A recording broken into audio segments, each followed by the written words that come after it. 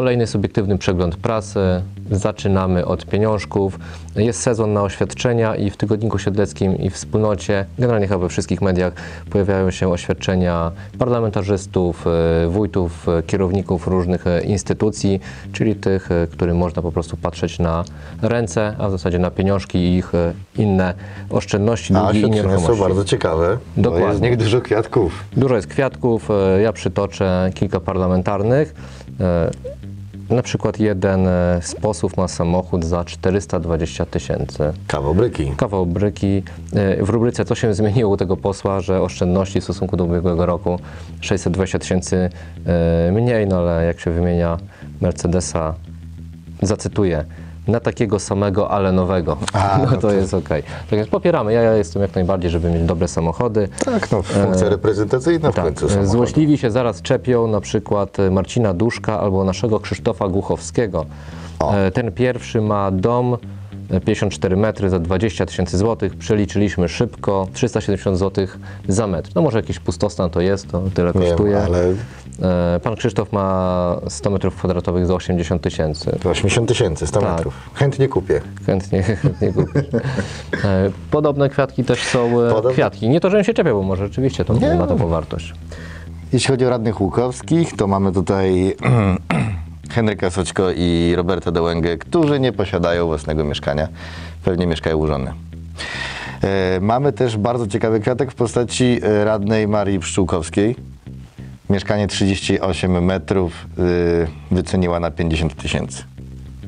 Jakieś średnio ceny łukowskie. Średnie ceny łukowskie jakoś, ale gdyby się okazało, że mieszkanie jest do sprzedania, to dołożymy chyba dwa razy tyle i chętnie weźmiemy. Dokładnie, dokładnie tak. Także zachęcamy do zerknięcia sobie czy do gazet, czy na portale, tam są wszystkie Czy oświadczenia. bezpośrednio na BIP, bo tam jest. Tak e, jest, tam dokładnie Tam jest się fajnie, fajnie dowiecie wszystkiego dokładniej. Zachęcamy, bardzo ciekawa lektura. E, Co mamy dalej? Dalej mamy artykuł ze wspólnoty Łukowskiej dotyczące inwestycji na basenach. Już zaraz będą ludzie pływać. Zaraz będą pływać, miały być wielkie obsuwy, było strasznie i okazuje się, że obsuwa będzie, ale nie taka straszna, jak zapowiada wiceburmistrz Mateńko. E, mianowicie, przypomnijmy, chodzi tutaj o inwestycję dotyczącą przebudowy dużego basenu, budowy dwóch kortów i budowy dwóch boisk.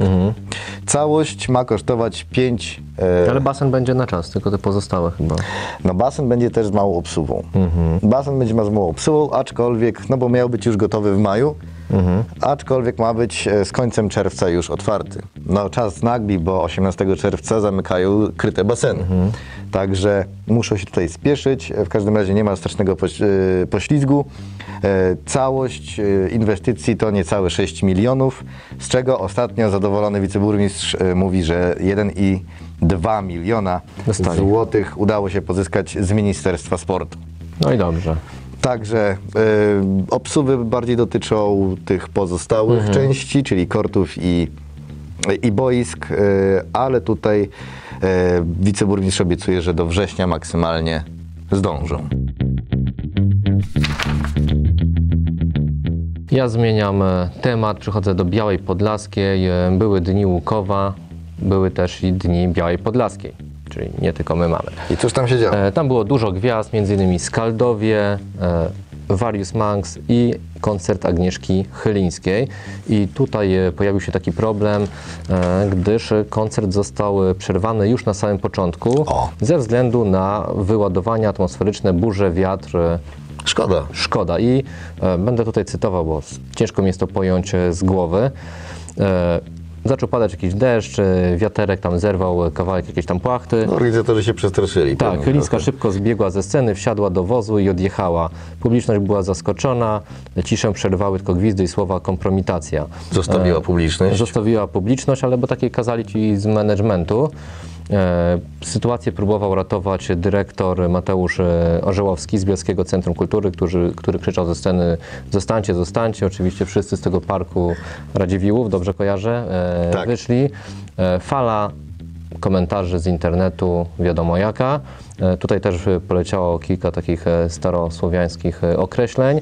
Generalnie pojawiło się oświadczenie z miasta na drugi dzień, no, w którym wiadomo, bezpieczeństwo, bezpieczeństwo, bezpieczeństwo, tak trzeba było e, zrobić. Ale i miasto, e, i ekipa Agnieszki Chylińskiej mówią, że koncert zostanie powtórzony, wznowiony, że się odbędzie kiedyś e, i będą informować. Tak więc nie rzucajcie tymi wyzwiskami w tym internecie. Być może Agnieszka po prostu się boi burzy. No. no bo przyjedzie jeszcze raz pieniążki weźmie. Tak, tak, tak było o, ustalone. byłoby fajnie. E, Przejdźmy teraz do tygodnika Siedleckiego. Mamy tutaj ciekawą wzmiankę, no, trudno nazwać dużym artykułem. E, mianowicie chodzi o przegraną sprawę burmistrza Dariusza Szóstka.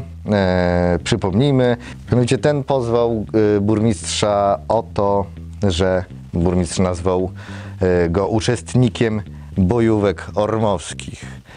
No sprawa, sprawę burmistrz przegrał, już jest wyrok prawomocny i bardzo ciekawi jesteśmy najbliższej sesji Rady Miasta, na której to Dariusz Szóstek będzie przepraszał No bo to publicznie. sąd tak kazał? Tak, A. tak.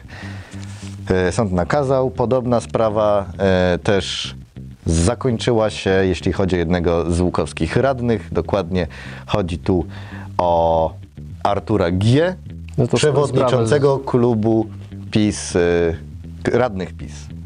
Już na tej sprawy nikt nie pamięta. Chodzi o pobicie i też e, sprawa się zakończyła. Winni zostali ukarani. Niestety tylko grzywną, także wszyscy dalej zachowują swoje stołki. To ja jeszcze na koniec e, krótka wzmianka z powiatu ryckiego. Jak informuje nas e, Twój głos, e, w Rykach ma powstać strefa płatnego parkowania. Pamiętamy, jaki to był problem w Łukowie. No problem taki, że trzeba było płacić. Teraz się każdy przyzwyczaił wedle zasady płać i płacz. Ale w rykach to nowość. w Rykach to nowość, pewnie będą tam się też co niektórzy buntować. A ta strefa ma być w obrębie, ja to nazywam Stare Miasto, ale to jest taki punkt... Tak zwane tak, Stare tak zwane Stare Miasto. E, tak więc zobaczymy, po ile będą tam te bileciki, czy w ogóle to wejdzie, no bo ta procedura i te formalności troszeczkę trwają. Pewnie zrobimy sądy na ten temat, czy mieszkańcy są za, czy przeciw. Już tu od razu można powiedzieć, że oczywiście... No, Które są przeciw, no, ale że to też przeciw. zależy, ile tam jest kątów, w które mogły się schować No, przed dokładnie. strefą W mieszkańcy. Wąchocku by sobie z tym poradzili. Na pewno. I co? I tyle w tym tygodniu. I tym Ciężkie tematy. żartobliwym akcentem Zakończymy, zakończymy dzisiejszy dzisiejszy przegląd. Do zobaczenia. Do zobaczenia.